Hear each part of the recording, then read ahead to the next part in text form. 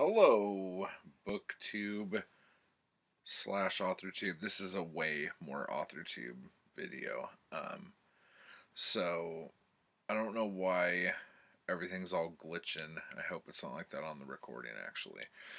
But what I wanted to talk to you guys about, um, there's a lot of stuff coming up um, for writers. Um, for those of you who are doing the I heard there was a Writetober. That has nothing to do with Inktober or anything like that. If you know about that, let me know down below.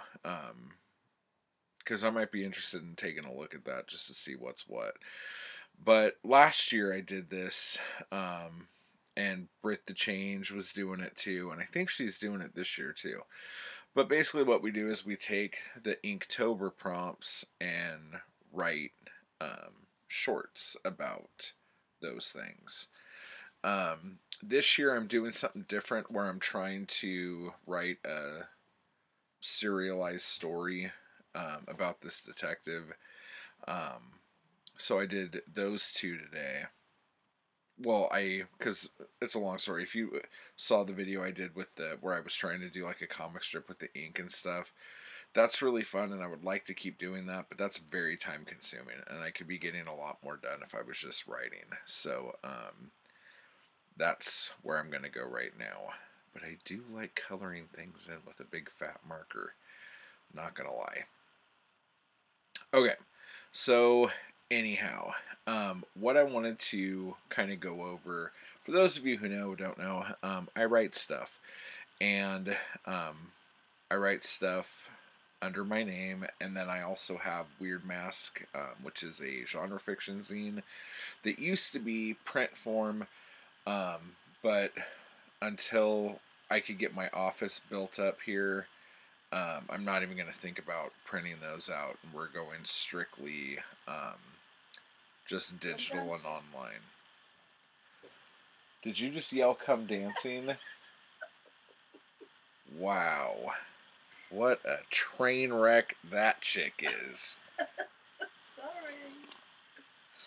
Uh, anyway, so um, because the Writetober thing's going on right now, um, also with Weird Mask, we have the um, races that we do every month. Um, and the Weird Mask 2500's coming up um, this month. I haven't decided when to do it yet, but um, I'll probably start talking about that soon here. And then we're all preparing to get ready for NaNoWriMo next month. Um, and in Nano, the book I'm going to be working on is um, book six in the Black Star series, a series I haven't um, gone back to for a few years now because I ended it and then I'm like, nah, I'm not going to end it. So, bleh. Um, with that being said, um, October also is you got your creepy, gothicy, hoary kind of stuff. Um, so there's that as well. And um, I've been trying to figure out the best way to use my time um, as a writer, how to measure everything out, figure out what books I should be writing as opposed to which books I should just maybe turn into short stories and leave them over there. Um, also, um, I'm doing a lot of marketing right now um, with Amazon, and I'm going to be doing um, ads with the different marketing sites. So I probably will be able to come back and tell you how those worked out and um, like obviously BookBub's the one you always want. Um, ENT, um, free Kindle books and tips. Um, there, there's an, a bunch of sites that are great. Um, and even Fiverr ads. I've had Fiverr ads work great for me in the past. Um, not great, but I mean like, especially if you have a free book, a five dollar Fiverr ad um, will get you a lot of downloads, which is kind of nice. Anyway, so you're probably looking at the screen saying, what the F is happening right now? So basically, um, I was listening to somebody talk about how they keep track of what they're supposed to be doing. And the thing that they said that was fascinating to me, and I'm probably reading into this more than what they actually said. Um, usually, if someone tells me a good idea, I stop listening to it as soon as I hear that there's a good idea there, and I start like building my own idea off of it. But basically, what he does is that at the beginning of the month, he sends himself an email, and I don't know if he schedules to send it to himself at the end of the month or if he just goes back and looks at it every month. But either way, um, if you want to send yourself a surprise from the past, that's kind of fun. But what he does is he sets out like um, his like two to five year plan, um, month by month, what he's supposed to be doing at the beginning of the month. And then he also says what he hopes to achieve that month. And then at the end of the month, he looks at that email and he's like, oh, I did this, this, this, and that. I did not do these things. I completely failed at this, blah, blah, blah, blah. So, with that information, he then looks at his master list and is like, okay, so what do I need to do now to fix that? Let me do this, this, this, this, this, this, this. Send, and then he'll look at that again at the end of the month and kind of go over everything like that and that is a really cool way to um, not only keep yourself motivated but keep yourself focused i guess so what i did here was um, i'm not planning that far in advance with certain things but the list on the left this is kind of like my master list of um, the things that will be happening and when they're going to be happening, basically. So, what I have on this list is on the 15th of October, the third Black Star book will come out. Um, and right now on Weird Mask, I have a serial running called um, Space 1959. Um, and that is going to end on Monday, November 11th. It's been coming out every Monday. Um, then the next Monday, I'm going to be starting this one. Now, if those of you who had the print copies of the zine, you'll remember that this was in there. So now it's going to be every Monday from November 18th through December 30th. Um, and then also in December, the fifth Black Star book will come out. Now, once this fifth Black Star book comes out, that means the all the five Black Star books that um, are kind of like back catalog are now out and available again. And I can start focusing on the new stuff, which is where we go here with um, Black Star Book 6 um, is scheduled for the 14th of January. So that is going to be my um, nano book. And so hopefully that'll all hit like that.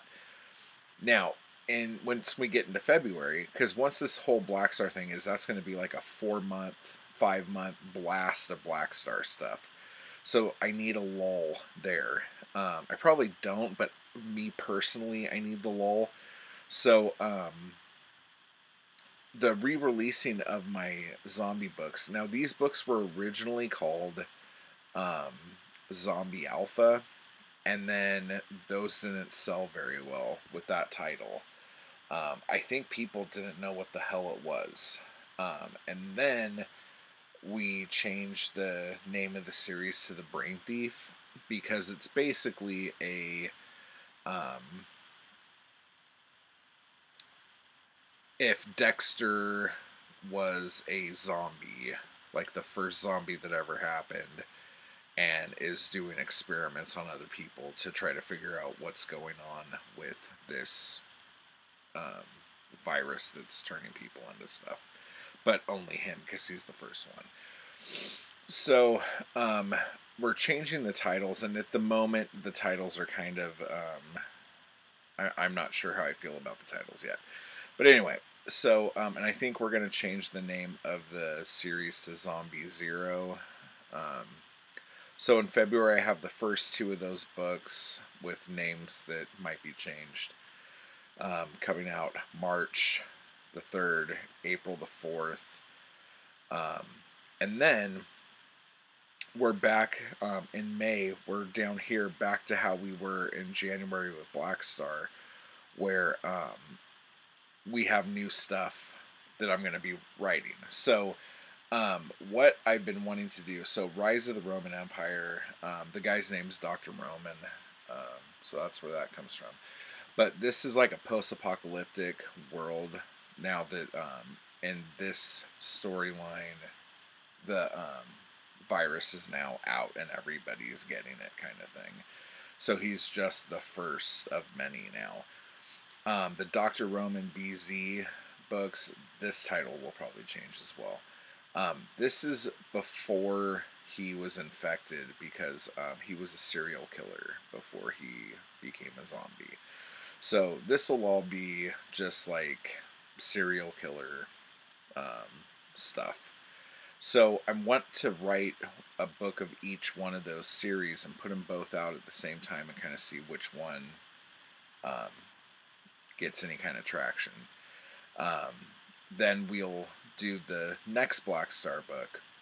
And then as far as that goes, um, I don't really have anything in stone. And there's a reason for that. Um, basically, I have um, what I did then is I took all of my um, stuff that is basically stuff I'm working on right now for the most part. So I have my current series with my Black Star Zombie Zero, and then I also have my Hank Bradshaw Hard Boiled Detective, like 50s um, style guy. These books are super easy and super fun to write, so I should be throwing one of these up every couple months anyway. Um, so that's just something I can be doing and focusing on right now. The series that are on hold, Black Market Blood Drive, it's like a vampire mafia series that I wrote one book to and then never went back to it because um, it did not do well. And I don't know if it was um, vampire fatigue right after Twilight, which could very well be what it was, or it was just a crap book and no one had the heart to tell me. just kidding. Um, yeah, but I'll talk to you about that in a minute. So then we have the current serials, uh, Space 1959, um, this one. And if you notice, this says WM at the back. That's Weird Mask. Um, now, these ones also, I need to change these because I changed my mind on this last night. These ones also are going to be going onto Weird Mask, Gavel and Hitman Black, and we'll talk about that in a minute. But then I had my list of incomplete stories. Now, some of these are books I've written almost the entire book of. Some of them um, are books that I just started. Others are scripts that I wrote that now I'm turning them into books. Um, so that's just like the incomplete pile. Um, and then in development are like things that I've been wanting to do that I actually have no written words for. And then um, down here I have the shelved finished projects, which means these are done and I could put these out, but for the time being, I'm deciding that I do not want to. Um, Bloodlust Romance and Bloodlust Revenge, that's one series. It's like a very violent, gruesome um, horror stuff that probably for current year won't fly without huge rewrites and then Crystal and Relapse. This is from the Shallow Giallo series. Um, I would like to put those out. They're really fun, but I don't know how to market those right now because um, they are parodies of crime films from the 70s from Italy that probably like a very small fraction of people have even seen. So to read a book that's a parody about it, um, I don't know how that would work for everybody. Um, and marketing the books are the hardest part because even right now with um, Black Star, I'm having a hard time because Black Star has such a huge cast that are all going through separate things that I don't know how to market these accurately to everybody. So when we get into like the zombie books down here, when we get to the Roman Empire books, these are going to be easy as hell because they're just straight up post apocalyptic zombie books. that'll be easy. That'll be a very simple market to target. Um, but even the the Zombie Zero books as a whole are kind of tricky because they are science fiction. There's um, body horror and stuff in it as well. But when you really get down to it, it's kind of a police procedural from an unreliable narrator that everyone, like you and the main character, know that they're unreliable.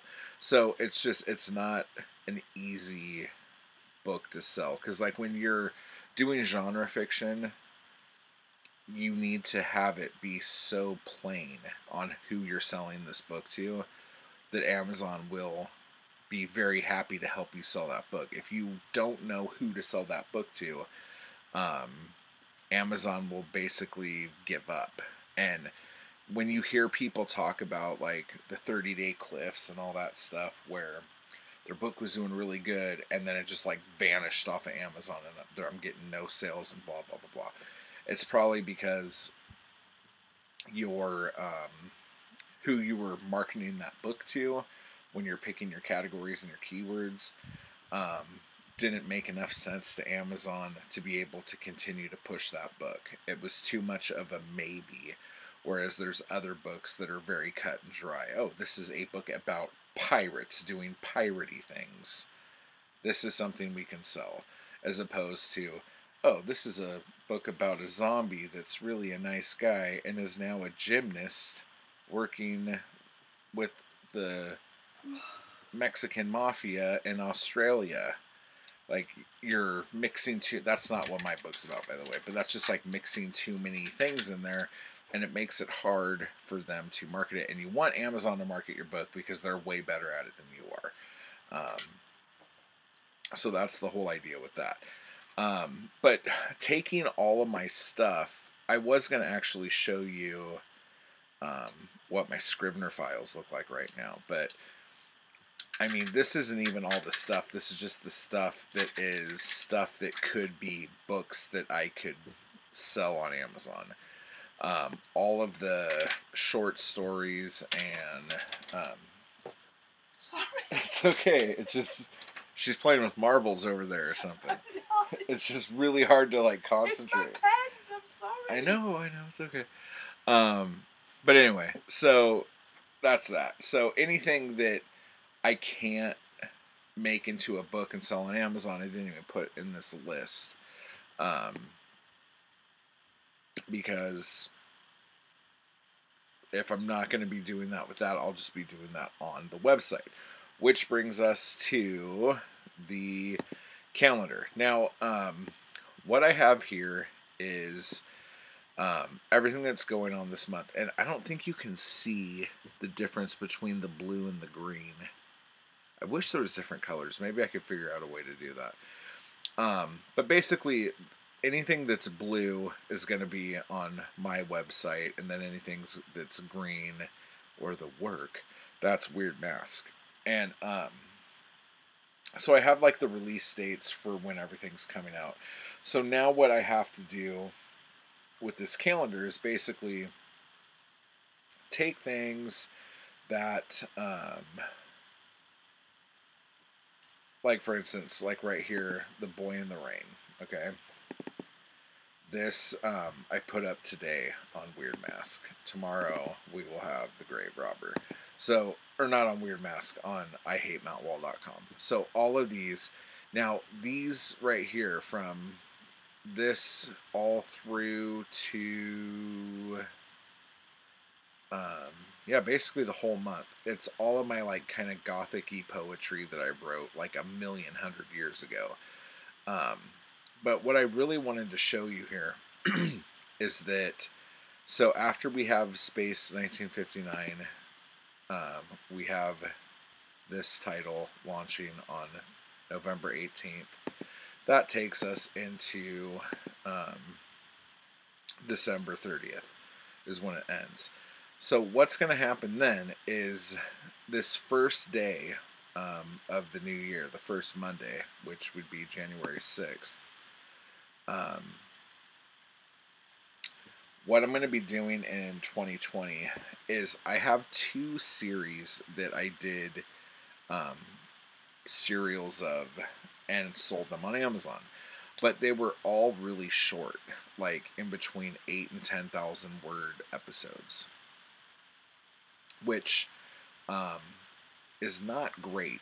And even if I were to take all of the gavel books and write the end of this arc, that would still only be probably like a 35,000 word book, which isn't bad. And I could probably put all those together and do a book of it later, which I'll probably end up doing.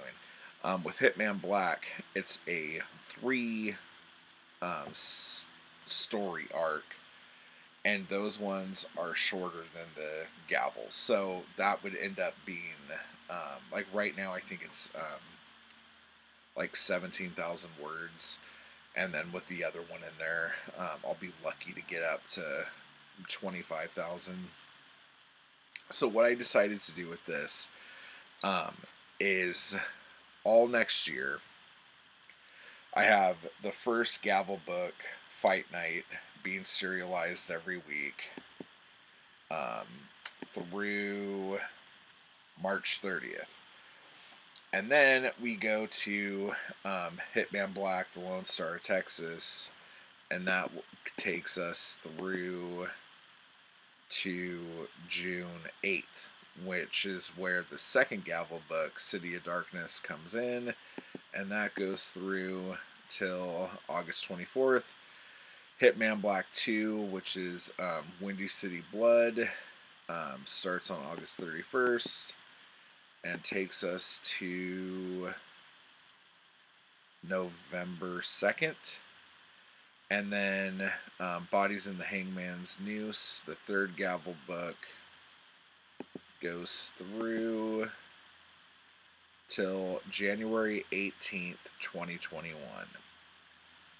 So that means I have a whole year of um, weekly serials that are going to be coming up that's on a platform like Weird Mask is geared towards genre fiction. So for a year, every Monday, I'm going to have my characters in a place where they should be for people who like that kind of stuff.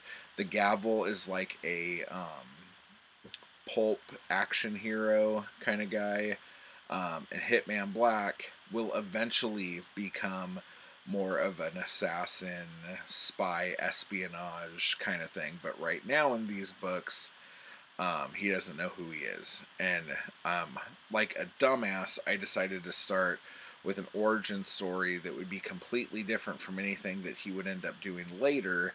Um, and then I realized that that was freaking stupid and boring. And anyone who would want to read an awesome spy action story is not going to enjoy watch or reading this book of this guy with his thumb up his butt while he's blowing stuff up. So, what this means is that now I have all next year to work on um, tying up these storylines and putting those books out, and then I could actually work on the actual like 50,000 plus word Gavel novel and Hitman Black novel that I've been wanting to write for freaking, I don't know, like five years now. So, um, that'll be really cool. It, it gives time to get everyone used to the characters and it gives me time to work on the stories. Now, the reason why this is coming up, um, talking about like time to work on stuff and everything, is because I was talking to a writer friend of mine who was really wanting to be able to put something out every month. And um, she was getting a little um, disheartened because she wasn't writing enough words to make sure she could get something out this month. And um, I am fully aware of how word counts put pressure on you to work. And sometimes that's good and sometimes it's bad. I like having pressure put on me. Um, I feel like I do better when I'm like um, under the gun kind of thing. But I know that's not for everybody. So what I was saying to her was, I'm like, look, you can still write something and release something every month if you want to do that. You just have to start it different. So if you want to put something out every month right now, put something out every month starting in January. But right now you're working on it. So now you have like three months to get ready to where you're always going to have something to put out. So if this month you could finish the thing that you wanted to put out um, normally, then it would come out in January. And then when you get to November, you could work on the thing that you're going to put out in February. When you get to December, you'll per- work on the thing that you put out in March. And it's just giving yourself that time. I don't know.